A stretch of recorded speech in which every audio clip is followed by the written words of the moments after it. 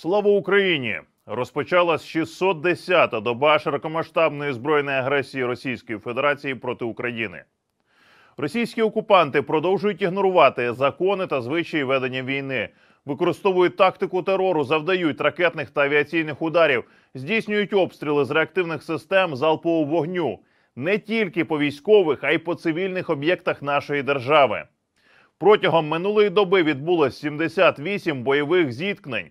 Загалом ворог завдав 50 авіаційних ударів та здійснив 49 обстрілів з реактивних систем залпового вогню по позиціях наших військ та населених пунктах. Також учора російські окупанти задали чергового авіаційного удару, застосувавши ударні безпілотники типу шахет 136-131. Силами та засобами протиповітряної оборони України знищено всі ворожі шахеди.